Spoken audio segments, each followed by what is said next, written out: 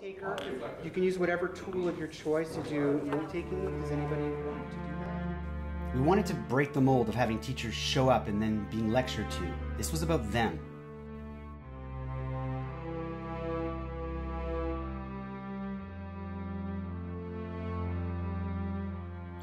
In regards to professional development, I believe that education is too important to keep the status quo.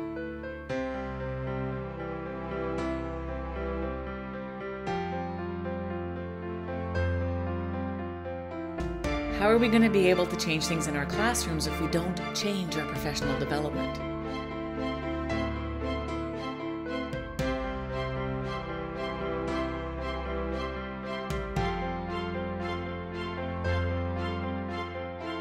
I get stuck on the one on I five. know that one person. That That one one person. that, that, that